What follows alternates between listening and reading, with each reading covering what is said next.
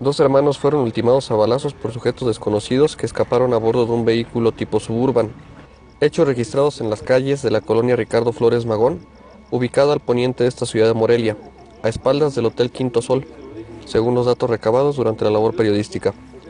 El doble homicidio es investigado por la Unidad Especializada en Escena del Crimen, dependiente de la Procuraduría General de Justicia del Estado. Se supo que el atentado ocurrió la noche del pasado sábado sobre la calle Penjamillo, entre las calles Arabia y Chandio del citado asentamiento urbano.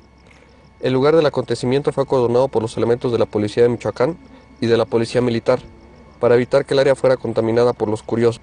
Igualmente trascendió que los occisos fueron identificados como los cosanguíneos Javier y Víctor H., de 40 y 35 años de edad respectivamente.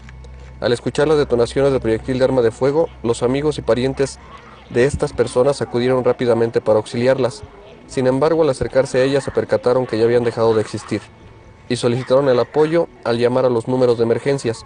De inmediato los representantes de la ley acudieron a la colonia ya referida, buscaron a los atacantes, pero no lograron localizarlos. La carpeta de investigación fue integrada por la unidad especializada en la escena del crimen.